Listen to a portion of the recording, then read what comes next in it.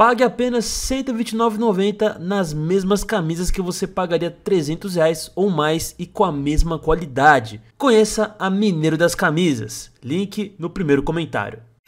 De futebol do Ronaldo. Então, claro que é um nome que interessa a várias equipes agora. A questão é, como eu disse há alguns dias, beleza, foi oferecido, mas oferecido em quais condições?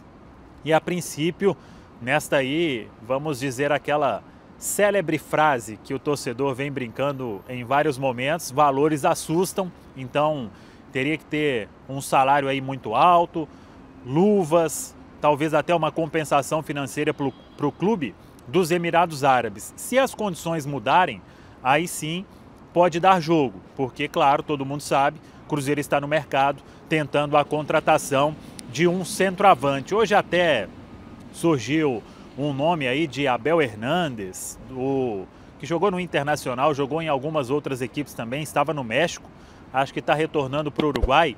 Foi mais um nome aí colocado na mesa, mas oferecido.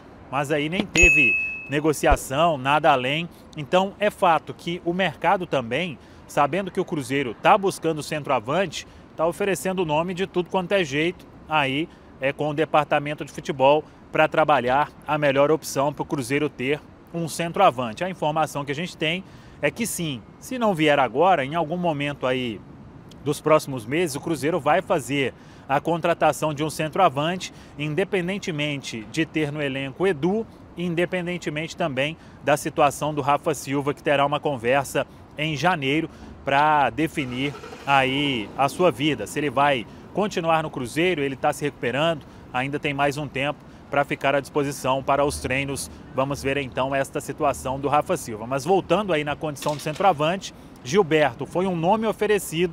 Agora, os valores precisam reduzir para que o Cruzeiro possa realmente se interessar e tentar uma negociação.